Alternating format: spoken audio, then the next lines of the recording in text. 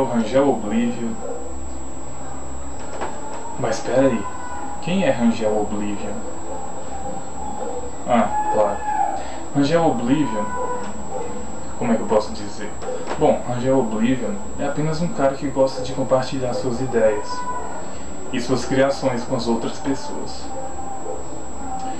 Bom, eu comecei esse trabalho de compartilhar com os outros né, as minhas ideias, minhas criações, com o trabalho de ROM hack.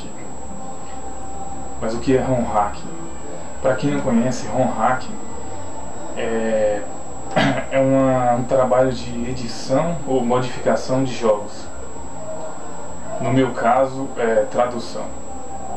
Eu até fiz algumas traduções de jogos famosos, como Vigilante 8, Second of Friends do PS1, o Turok 2, Seeds of Evil do Nintendo 64, o Crash Team Racing do PS1 também e outros. É, para mim as minhas traduções são razoáveis, né? Algumas pessoas não gostaram, outras gostaram.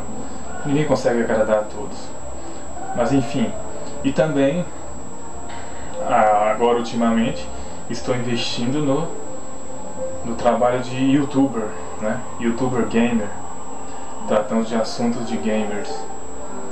Eu comecei a forte mesmo com o canal, investir mesmo, este ano, esse final do ano passado agora, né? Claro.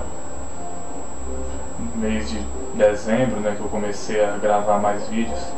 Mas eu tenho um vídeo de 2012, foi o meu primeiro de todos, que é um vídeo que eu faço um apelo, né? Um apelo para, assim, para a indústria mundial dos games, né? Olha a ilusão, eu achando que vai chegar lá. Mas não custa sonhar, né? Eu faço um apelo pedindo a para que essas indústrias olhem mais para o nosso país, né, o Brasil. Bom, e o que que a gente vai ver no canal do Rangel Oblivion?